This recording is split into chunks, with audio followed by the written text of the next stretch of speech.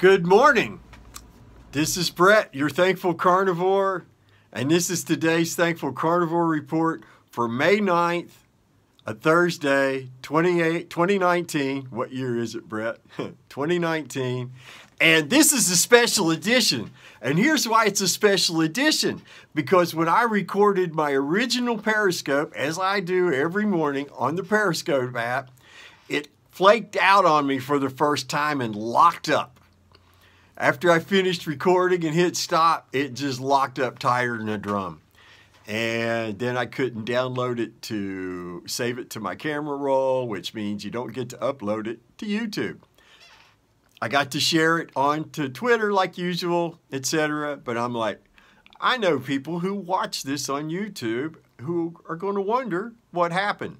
Well, now you know what happened, and you're still getting your episode.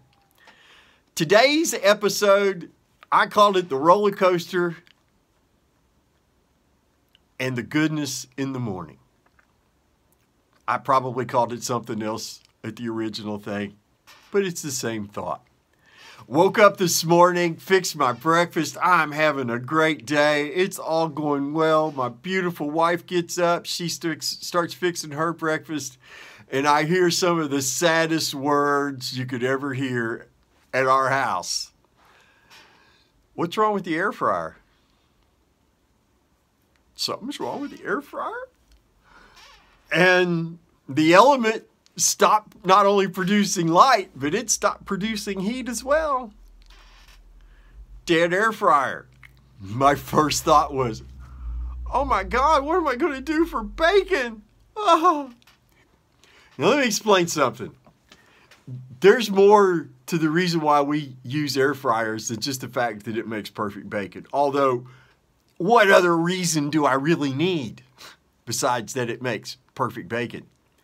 But additionally, it cuts down on the heat being generated and put out into our home. Now, we live in North Florida and in an old stone bungalow. And if you like hot, oppressive weather, Florida is your place. Come on down, you're going to love it. Especially when the temperature doesn't cool down enough at night to cool your home down.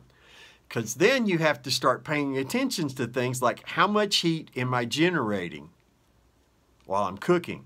Because it costs almost twice as much money to cool that heat down in our lovely domicile as it does to generate it. So you have to think about these things because otherwise you're going to end up with a four or five hundred dollar electric bill every month. And I don't know about you, but I could buy better bacon instead of spending that much on the light bill.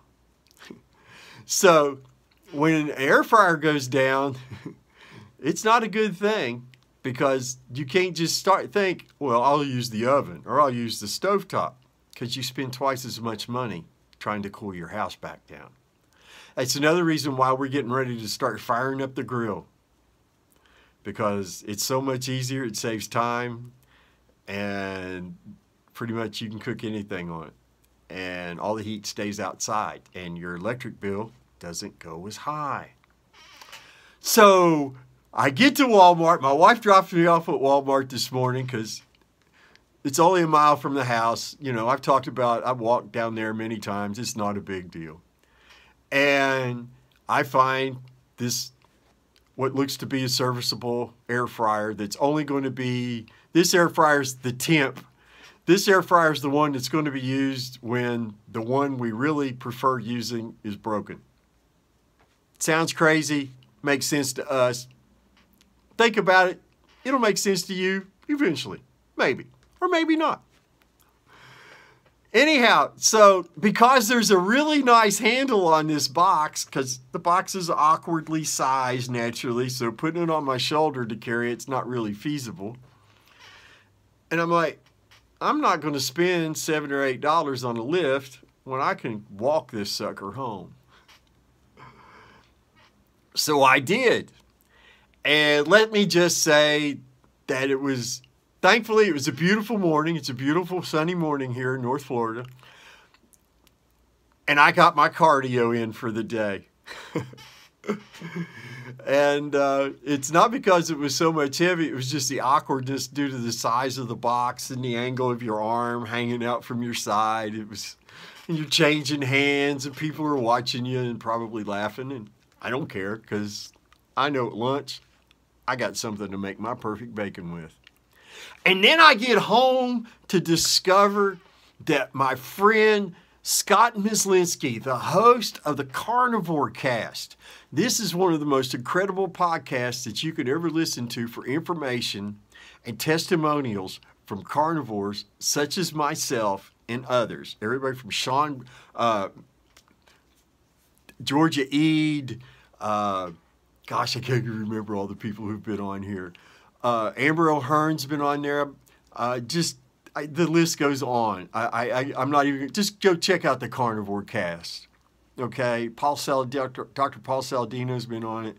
I'm going to leave people off. Don't be offended. I can't. I don't have the list committed to memory. Sorry. I just go to the website. It's a really great, informative podcast. I recommend it highly to everybody. And one of the reasons why it's so special to me is that's the first podcast where I shared my story with the world. And the goodness that has was put out in that episode by Scott and myself has come back to bless us so many times over. I, am I'm, I'm not even going to go into all the ways it has. It just has. And some of those things you people are aware of, but there's a lot of it behind the scenes. It's just been so wonderful that I've kept private between us as friends. And, and it's just been a beautiful multi, multiple layers of goodness have helped so many people, just so many people from that podcast. And it helps informing people, giving people hope, telling people how different ways of living the carnivore life. Because Scott interviews a wide variety of people, professionals, accredited health professionals, and then everyday folks like me who I'm not in the medical field, but I experienced something truly profound by losing lifelong depression, anxiety, and insomnia by eating meat and drinking water.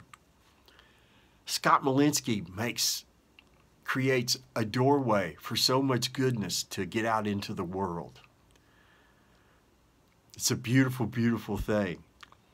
Think about putting your own goodness out into the world whether it's by saying a kind word to a neighbor on your way to the corner store, or at the checkout line, or in a bulletin at church, or in a, an op ed to your local community newspaper, or on social media in a way that suits your skills. Goodness, man, it comes back to us when we put it out into the world, people something Jordan Peterson, Dr. Jordan Peterson talks about frequently that I really am a huge fan of. Today, I want you to put as much goodness into the world as you can in a way that suits your skill set. And it's got to be genuine, it's got to be honest, it's got to be from the heart. Have a beautiful day. Eat your meat, drink some water, and be thankful.